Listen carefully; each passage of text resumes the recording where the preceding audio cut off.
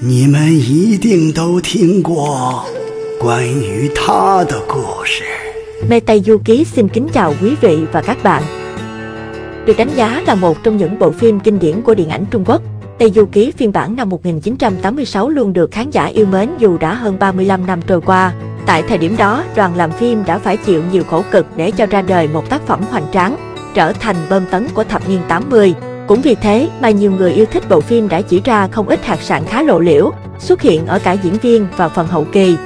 Dù là một tác phẩm được chăm chút kỹ lưỡng đến đâu thì cũng không thể tránh được sai sót, do việc đảo lộn trình tự trước sau của cảnh quay, khiến nhiều chi tiết bị nhầm lẫn, là việc không xác định đồng nhất màu sắc trang phục hoặc tạo hình trong cùng một cảnh quay vân vân. Dưới đây là những hạt sạn to cần được mê Tây Du Ký nhặt ra và điểm lại cho vui thôi nhé. Dù sao, đây vẫn là Tây Du Ký kinh điển nhất mà chưa có một phiên bản nào thay thế được cho đến thời điểm hiện tại.